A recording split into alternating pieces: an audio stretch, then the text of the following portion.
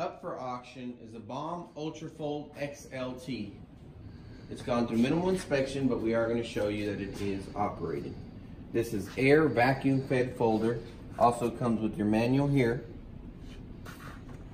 We're going to go ahead and put our sheets in. We have a half fold set up. We're going to turn it on. You're going to see the speeds working. We'll show you that's working. We're going to turn our pump on.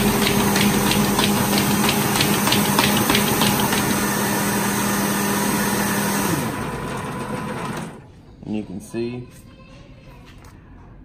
that it did fold. Again, up for auction is an Ultra Fold Baum XLT Air Vacuum Fed Folder.